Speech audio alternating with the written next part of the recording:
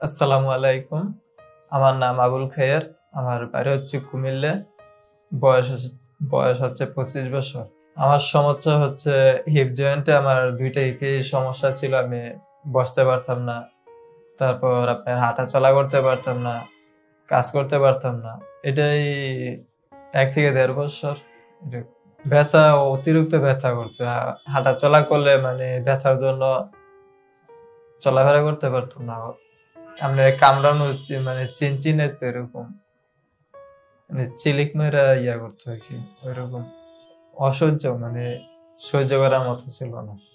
এ পর্যন্ত অনেক ডাক্তার দেখেছি মানে অনেক মেডিসিন ওষুধ খেয়েছে, কোনো কাজ হয় না ডক্টররা বলতো যে মানে ওষুধ খেলে চলে যাবে ভালো হয়ে যাবে মানে ডাক্তাররা বলতো আমাকে যে, ওষুধ খাওয়ার জন্য ওষুধ খেলে ভালো হয়ে যাবে কিন্তু আমার ওষুধ খাওয়ার পর মানে ভালো হয় না, দিন দিন মানে ব্যথা আরও বাড়তে থাকে, দ্বিগুণ হয়ে যায়।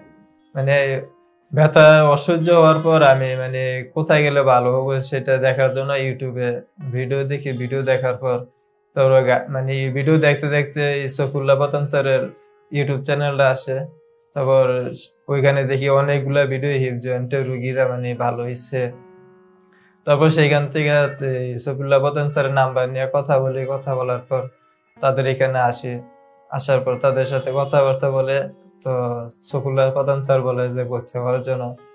তো এখানে চিকিৎসা নেওয়ার পর, থাকার পর আল্লাহ, আল্লাহর মধ্যে এখন আমি অনেক সুস্থ আছি। চলাফেরা করতে পারি, হাঁটতে পারি, বসতে পারি।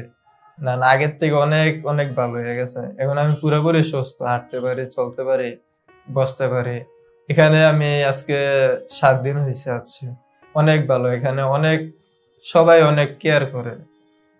অনেকে আপনার টাইম টু টাইম গিয়ে দেখাশোনা করে, ওষুধ নার্স গিয়ে সে দেখাশোনা করে।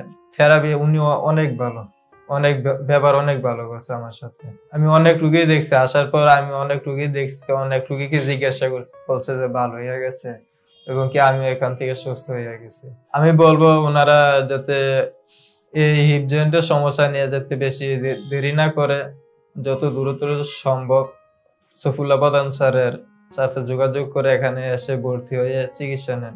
আমার জন্য সবাই দোয়া করবেন, আমি যেন সারা জীবন সুস্থভাবে চলাফেরা করতে পারি, ভালো থাক, ভালো থাকতে পারি। আসসালামু আলাইকুম। ডিপিআরস লিমিটেড, আস্থা, বিশ্বাস ও নির্ভরতায় অবিচল।